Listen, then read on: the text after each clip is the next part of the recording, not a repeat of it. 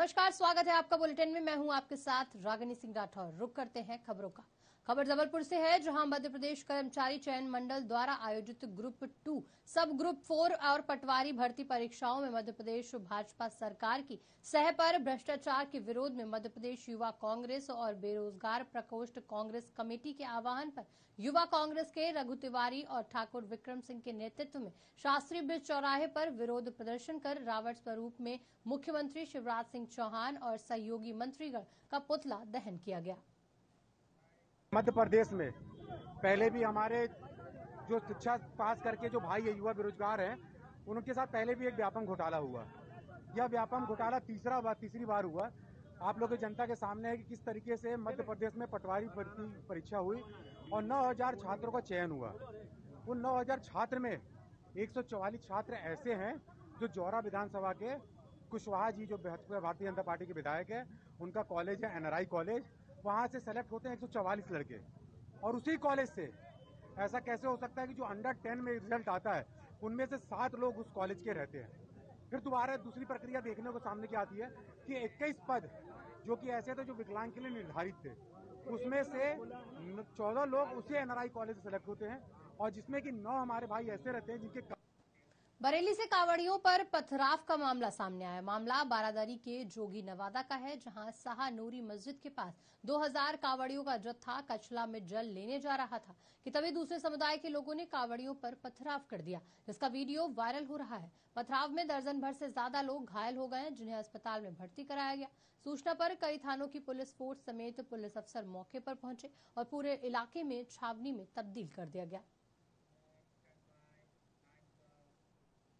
खबर महासुमंद से है, जहाँ भारतीय जनता पार्टी किसान मोर्चा ने छत्तीसगढ़ राज्य सरकार द्वारा मंडी शुल्क पाँच दशमलव दो प्रतिशत किए जाने का विरोध किया।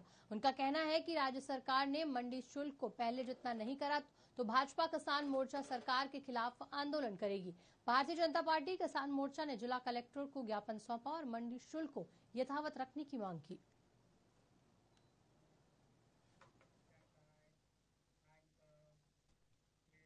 हरदोई में खेत में आग लगने से हड़कंप मच गया। पूरा मामला हरदोई के बघौली थाना सहरोरिया बुज़ुर्ग मजरा घुरमई इलाके का है, जहाँ संदिग्ध परिस्थितियों में आग लगने से खेत में बनी झोपड़ी जलकर खाक हो गई। हालाँकि ग्रामीणों ने कड़ी मशक्कत के बाद आग पर काबू पाया। वहीं इस पूरे मामले में पीड़ित ने जमीनी विवाद के चलते आग लगाने का आरोप लगाया और पुलिस से मामले की जाँच करने की मांग की। थाना बगौली क्षेत्र का एक वीडियो सोशल मीडिया पे वायरल हुआ है। जिसमें एक खेत में बनी हुई झोपड़ी में आग लगी हुई है। वहाँ मौके पर पुलिस गई है और ये माना गया कि संदिग्ध परिस्थितियों में आग लगी है। इसके लिए थानाध्यक्ष बघोली को इसकी जाँच दी गई है जो भी तथ्य हैं, उसके तथ्य सामने लाएँ। उसके आधार पर जिसने आग लगाई है, उसके खिलाफ विधिक कार्रवाई की जा सकती अभी चूँकि जाँच भी चल रही, जो जाँच में अगर ऐसा आता है कि किसी ने आग लगाई है, उसके विरुद्ध अभियोग पंजीकृत कर खबर बेमतारा से है, जहाँ जल चढ़ाने जा रहे पैदल कावड़ियों को अज्ञात ट्रक ने टक्कर मार दी। तीनों कावड़ियों को मामूली चोटें आई हैं, लेकिन एक युवक की मौके पर ही दर्दनाक मौत हो गई। घटना को अंजाम देकर ट्रक चालक ट्रक समेत फरार हो गया। बताया जा रहा है कि कावड़िए जल चढ़ाने बेमतारा के महाभुट्टा वार्ड से भारमदेव मंदिर जा रहे थे।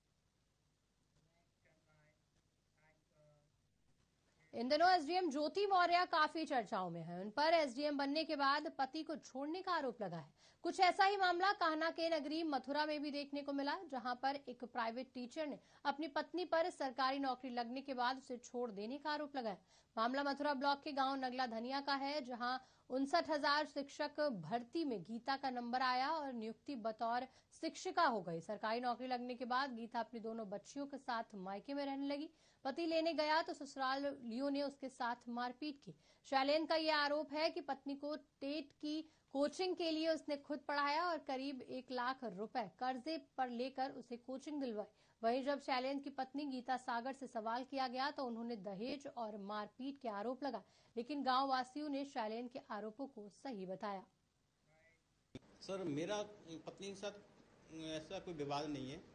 मेरी शादी आठ दिसंबर दो हज़ार सोलह को हुई थी। उसके बाद मेरी पत्नी मेरे साथ खूब खुश थी, बढ़िया रह रहे थे हम। फिर मैं मैंने, वो बीएड थी तो पढ़ी लिखी, मैंने, मैं एक्चुअली में पढ़ी लिखी, मेरी डिमांड थी मुझे पढ़ी लिखी पत्नी चाहिए। तो ठीक है, मैंने और मुझे कोई, मेरी कोई डिमांड नहीं थी। तो वो पढ़ी लिखी थी तो मैंने उसको फिर तैयारी कराई, कोचिंग कराई मैं मेरे को बी टेक हूँ तो मैंने उसको मैथ कराया मैंने पढ़े तू मैं तू ज़्यादा तेरा जॉब लग जाएगी तो अच्छा रहेगा हुँ? तो सर जब उसको टेट वेट सब क्लियर करवाया सर है नाम तो शैलेंद्र है। हाँ। वो इनकी घरवाली परेशान करती है इन्होंने पढ़ाई की लिखाई की। पहले से ही हाई स्कूल करके फिर शादी हो गई फिर इन्होंने जो भी कुछ किया मास्टर नहीं कर दी मास्टर नहीं बना दी अच्छा अब इनको इनका मिलती वो करती है। हम इनके पास नहीं आती हैं? नहीं आती। क्या कहती हैं वो? वो कहती है मुझे नहीं रहना है। तो आप पंचायत में भी गए थे क्या? पंचायत में गए थे वहाँ पे भी मना कर दिया मुझे नहीं जाना है नहीं जाना है। दो? बार पंचायत हुई थी। क्यों नहीं आती है? क्या कारण है? वो नहीं आती है न जाने क्या कारण है। अब आप लोग क्या चाहते हैं गाँव वाले? खबर रायपुर से है, जहाँ संविदा कर्मियों की अपनी नियमितीकरण की एक सूत्रीय मांग को लेकर हड़ताल अब तक जारी है। इस हड़ताल ने अब आमरण अनशन का रुख कर लिया है और इस आमरण अनशन में बैठे कर्मचारियों के स्वास्थ्य में भी गिरावट आने लगी है। इतना ही नहीं, इनमें से एक दिव्यांग महिला कर्मचारी ने तो अपने खून से राहुल गांधी के नाम पत्र भी लिखा। संविदा कर्मचारियों का कहना है कि छत्तीसगढ़ शासन द्वारा प्रदेश के संविदा कर्मचारियों के वेतन में 27 प्रतिशत की वृद्धि की गई है, जबकि वास्तव में 48 प्रतिशत होना था। कर्मचारियों का कहना है कि सरकार हमसे बात नहीं करना चाहती। सरकार ने अब तक हमारी मांगों को सुना ही नहीं, इसलिए उन्हें ये पता नहीं है कि हमारी मांग आखिर है क्या। पंचायत भवन में रिपेयर के नाम पर लाखों रुपए के घोटाले का मामला सामने आया। प्रधान और पंचायत सचिव ने मिलकर घोटाला किया है। मामला हरगांव ब्लॉक की ग्राम पंचायत निगोहा का है, जहाँ मिट्टी पटाई मरम्मत के नाम पर सरकारी धन को बंदर बांट किया गया। आंगनवाड़ी केंद्र में बने भवन में टाइल्स लगाने के नाम पर लाखों रुपए का घोटाला भी हुआ। उन्नाव में दो गुटों के बीच जमकर लाठी डंडे चले, जिसका वीडियो जमकर वायरल हो रहा है। वहीं ट्वीट करके पुलिस ने मामले की जानकारी दी। पुलिस ने वायरल वीडियो को संज्ञान में लेते हुए मारपीट करने वाले दोनों पक्षों पर मुकदमा दर्ज किया। वायरल वीडियो हसनगंज कोतवाली अंतर्गत मटरिया ग्राम पंचायत के मजरा लीला खेड़ा का बताया जा रहा है।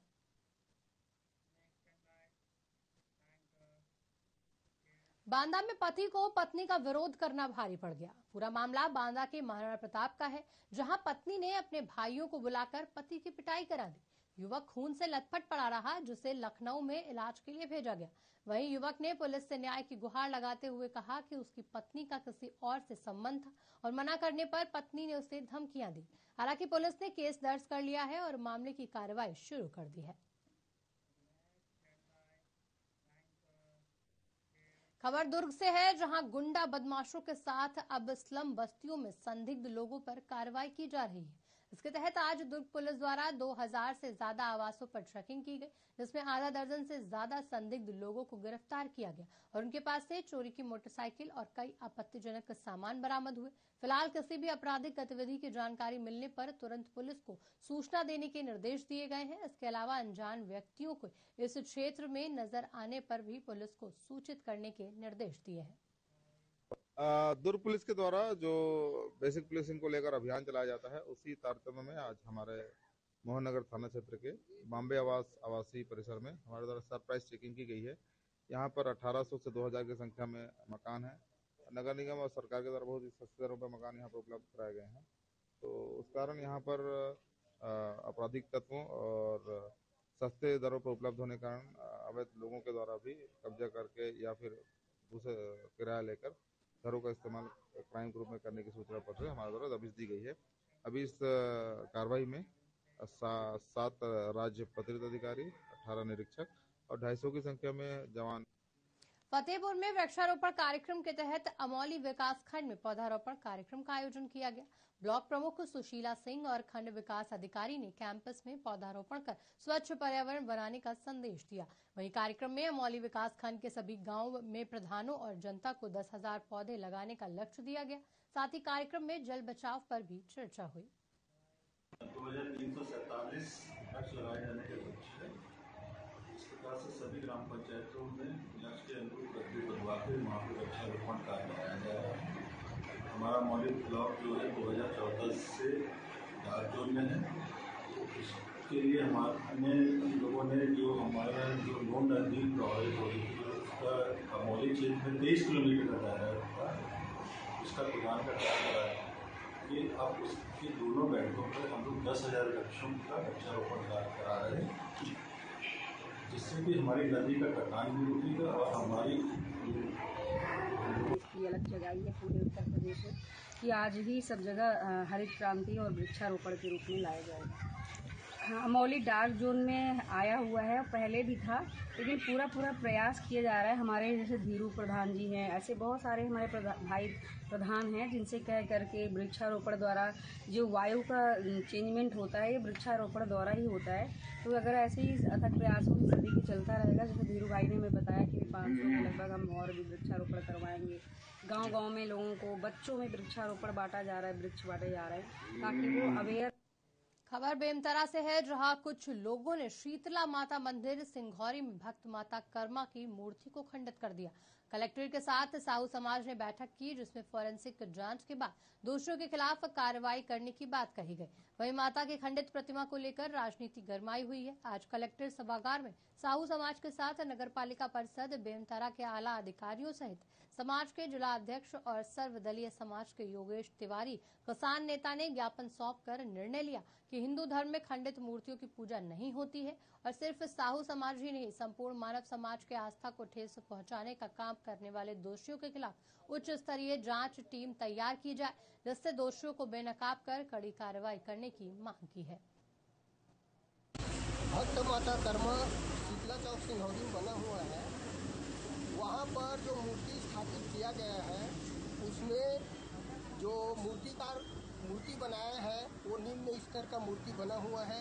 यह हमको कब पता चला जब फॉरेंसिक टीम दुर्ग से कल सुबह वही साढ़े दस बजे आए थे तो उन्होंने बताया कि गुणवत्ताविहीन काम होने की वजह से जो खिचड़ी का भोग लगाया गया है, वो साढ़े चार किलो का लाख की लागत से भक्त कर्मा माता की जो चौक में, जो सिंगोरी चौक में जो प्रतिमा का जो लोकार्पण किया गया है वहाँ स्थापना किया गया है। बहुत जल्द, यानी एक हफ़्ता पहले गृह मंत्री जी ने उनका लोकार्पण किया है।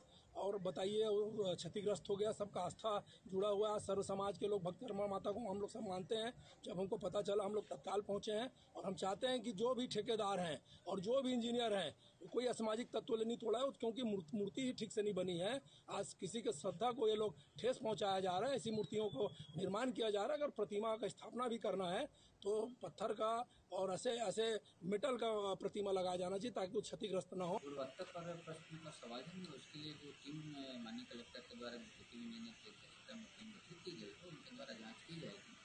और रही बात गुणवत्ता गुणवत्ता युक्त है, क्योंकि मूर्ति विगत साल भर से वहाँ रखी हुई है, अनावरण उसका अभी हुआ है। और उक्त संबंध में नगर पालिका के द्वारा थाना प्रभारी को प्रारंभिक प्राथमिकी दर्ज करने हेतु पत्र प्रेषित किया गया है। और उसकी इन्वेस्टिगेशन चल रही है फॉरेंसिक टीम भी आई हुई थी, उसका सैंपल पर लेके गए खबर बेमतारा से है, जहाँ संचालय रोज़गार और प्रशिक्षण नवा रायपुर छात्रावास अधीक्षक और छात्रावास अधीक्षका पद के लिए भर्ती परीक्षा का आयोजन 23 जुलाई को किया गया था। इस परीक्षा की ज़िम्मेदारी छत्तीसगढ़ व्यवसायिक परीक्षा मंडल रायपुर को सौंपी गई थी। परीक्षा का प्रवेश पत्र वेबसाइट पर जारी किया गया था। परीक्षा केंद्रों में कुल 4,800 परीक्षार्थी शामिल हुए। परीक्षा के दौरान परीक्षा कक्ष में मोबाइल कैलकुलेटर इलेक्ट्रॉनिक उपकरण आदि पर पूर्ण प्रतिबंध लगाया गया था। हमारे हमारे सेंटर में अभी जो परीक्षा जो हो रही है वो छात्रावास अधीक्षक एवं अधीक्षिकाओं का आयोजित है जो व्यापम द्वारा आयोजित है। आज की परीक्षा में हमारे यहाँ कुल दर्ज तीन सौ पचास था लेकिन उपस्थिति केवल एक सौ सोलह है और अनुपस्थित दो सौ चौंतीस है। क्या लगता है सर एग्ज़ाम कितने शांतिपूर्ण व्यवस्था से व्यवस्था पूरी अच्छी तरह से है शांतिपूर्ण व्यवस्था हो रही है। जी। कुल मेरे यहाँ एक हॉल और ग्यारह रूम में हो रहा है पेपर जो है। जी कितने शिक्षकों की ड्यूटी लगाई गई थर्टी वन। इकतीस टीचरों की ड्यूटी लगी। और प्रश्न थोड़ा इजी था डिफ़िकल्ट वे में नहीं था नॉर्मल इंसान भी बिना पढ़े भी दे सकता है।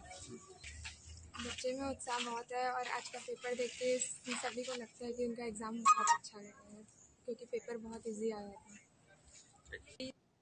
गोंडा में यातायात सुरक्षा पखवाड़ा के तहत चेकिंग अभियान चलाया गया। बता दें, गोंडा पुलिस और संभागीय परिवहन विभाग की टीमों ने गुरु नानक चौराहे पर जागरूकता के लिए चेकिंग अभियान चलाया। चेकिंग के दौरान ज़्यादातर लोग यातायात नियमों की धज्जियाँ उड़ाते नज़र आए। गोंडा पीटीओ ने लोगों से हाथ जोड़कर ट्रैफ़िक नियम का पालन करने का अनुरोध किया और कई लोगों का चालान भी काटा।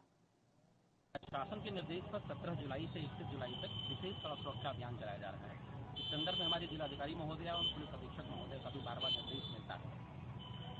इस विशेष सड़क सुरक्षा अभियान के तहत आज हेलमेट न लगाने वालों सीट बेल्ट न लगाने वालों, रॉन्ग साइड ड्राइव करने वालों और वाहन चलाते समय मोबाइल फ़ोन का यूज़ करने वाले लोगों को ऐसा न करने की सलाह दी गई है। उन्हें ये निर्देश दिए गए हैं, अनुरोध भी किया गया है कि जब भी वो दो पहिया वाहन चलाएँ तो हेलमेट का ज़रूर उपयोग करें, चार पहिया वाहन चलाते समय सीट बेल्ट का उपयोग करें। वाहन चलाते समय मोबाइल फ़ोन का यूज़ बिल्कुल न करें। लोग तमाम प्रयासों के बावजूद ये समझने को हमीरपुर के प्राथमिक विद्यालय में छात्रों के भविष्य से खिलवाड़ करने का मामला सामने आया। पूरा मामला हमीरपुर के गैरी गाँव का है, जहाँ प्राथमिक विद्यालय में बच्चों के हाथों में किताबों की जगह अध्यापकों ने झाड़ू थमा दी है और बच्चे स्कूल में झाड़ू लगाते नज़र आए। वहीं स्कूली बच्चों को झाड़ू लगाने का ये वीडियो सोशल मीडिया पर तेज़ी से वायरल हो रहा है।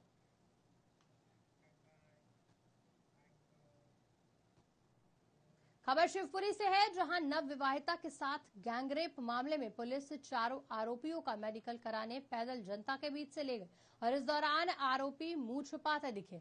आपको बता दें कि 20 जुलाई को नव विवाहिता के साथ उस समय गैंगरेप किया गया, जब वो ससुराल जाने के लिए अपने पति का इंतज़ार कर रही थी। इसी दौरान दो आरोपी उसे लिफ्ट देने के बहाने खेत में ले गए, वहाँ उसके साथ बारी बारी से दुष्कर्म किया। तीसरे आरोपी ने नवविवाहिता के साथ रेप किया तथा चौथे आरोपी ने निगरानी की थी। फरियादी है जिसने बताया कि मैं बिजरोनी वाली रास्ते से अशोक नगर जा रही थी। तो मेरे को दो लड़के मिले जिन्होंने मेरे को बाइक पे बिठा के लेके गए फिर उन्होंने गलत काम किया और भी दो और लड़कों को उन्होंने बुलाया फिर उन्होंने भी गलत काम किया। इस प्रकार से चार लोगों ने उसके साथ गैंगरेप किया है। हमने चारों को गिरफ़्तार कर लिया बिजरोनी के ही रहने वाले नहीं नहीं जानते। महिला अशोक नगर जा रही थी अपने किसी काम से जा रही थी। तो उसको रास्ते में दो लड़के मिल गए तो उन्होंने उसको बाइक में बैठा के लेके चले किन धाराओं में मामला दर्ज किया गया? तीन सौ छिहत्तर डी और चौतीस और तीन सौ हरदोई में बदमाशों की खुलेआम दबंगई का वीडियो सामने आया है। पूरा मामला हरदोई के लाखमपुर गाँव का है, जहाँ जमीनी विवाद में दबंग अवैध असलाह लहराते हुए पीड़ित पक्ष को धमकाते नज़र आए। इस दबंगई का वीडियो किसी ने अपने कैमरे में कैद कर लिया जो सोशल मीडिया पर वायरल हो रहा है। इसके बाद पुलिस ने वायरल वीडियो को संज्ञान में लेते हुए पीड़ित पक्ष की तहरीर पर दबंगों के खिलाफ मुकदमा दर्ज किया और दबंगों की तलाश में जुटी है। ये थाना पाली में ग्राम लखमापुर है। वहाँ दो पक्षों में, एक पक्ष करोड़ेश का और दूसरा संतोष कुमार का पक्ष है, जिसमें जमीनी विवाद को लेके झगड़ा हुआ था और उसमें संतोष पक्ष द्वारा तमंचा लहराया गया। करोड़ेश के द्वारा इसमें तहरीर दी गई है, अभियोग पंजीकृत किया गया है। शीघ्र ही तमंचा लहराने वालों गिरफ़्तार करके और तमंचा बरामद किया जाएगा। हरदोई में एक सिपाही के द्वारा सरेआम युवक को जूतों से पीटने का वीडियो सामने आया। सिपाही ने युवक को चार मिनट में 48 जूते मारे। वीडियो वायरल होने के बाद पुलिस ने सिपाही के विरुद्ध कार्यवाही की बात कही। ये घटना बेजा चौराहे की बताई जा रही है। ये सिपाही शाहबाद कोतवाली में यूपी 112 में तैनात है। आपको बता दें कि कल हरदोई आए एडीजी पीयूष मार्डिया ने पुलिस लाइन में समीक्षा बैठक के दौरान सभी अधिकारियों को निर्देशित दिए थे कि जनता के प्रति पुलिस अपना व्यवहार ठीक और शालीन रखे। अब ये वीडियो सामने आने के बाद जाँच की बात कही गई है। सोशल मीडिया पर एक वीडियो वायरल हो रहा है जिसमें एक व्यक्ति किसी दूसरे व्यक्ति की पिटाई कर रहा है। बताया जा रहा है ये वीडियो शाहबाद का है जिसमें पीआरबी में नियुक्त एक कांस्टेबल दिनेश जो सादे वस्त्रों में है उसका वो किसी दूसरे व्यक्ति की पिटाई कर रहा है। इसके संबंध में सीओ शाहबाद को जाँच दी गई है। जाँच में जो भी चीज़ें आएँगी उसके आधार पर उसके खिलाफ कार्रवाई की इसकी जाँच की जा रही है। वायरल वीडियो के संबंध में जाँच की गई तो ये ज्ञात हुआ कि ये वायरल वीडियो थाना क्षेत्र शाहबाद में बेजा चौराहे के पास का है। जहाँ पे एक कांस्टेबल बत्तीस सत्तावन पे आरक्षी दिनेश अत्री तैनात है। वे सादे वस्त्रों में बाज़ार में सामान लेने गए। वहाँ पे उन्होंने देखा तो एक व्यक्ति द्वारा जो नशे में भी था, कुछ लोगों के साथ अभद्र व्यवहार कर रहा था, गाली गलौज कर रहा था। इनके द्वारा टोकने पे इनके साथ भी अभद्रता किया। इस पे उस आरक्षी द्वारा उनके साथ मारपीट। इस वीडियो का संज्ञान लेते हुए पुलिस अधीक्षक हरदोई द्वारा तत्काल आरक्षी दिनेश अत्री को निलंबित कर दिया गया है और विभागीय कार्रवाई सहारनपुर बेहट में पुरानी रंजिश के चलते दो पक्षों में लाठी डंडे और तेजदार हथियार चले। मामला थाने फतेहपुर क्षेत्र के ग्राम बुड्ढा खेड़ा पुंडीर का है, जहाँ कासुनी खूनी संघर्ष में बदल गए, जिसमें तीन महिलाओं सहित सात लोग गंभीर रूप से घायल हुए। घटना की सूचना मिलते ही फतेहपुर थाना अध्यक्ष प्रमोद कुमार फोर्स के मौके पर पहुँचे और सभी घायलों के उपचार के लिए सामुदायिक स्वास्थ्य केंद्र में भर्ती कराया। जहाँ प्राथमिक उपचार के बाद हालत गंभीर देखते हुए हायर सेंटर रेफर किया गया। साथ ही गाँव में शांति व्यवस्था बनाए रखने को भारी पुलिस बल तैनात किया गया।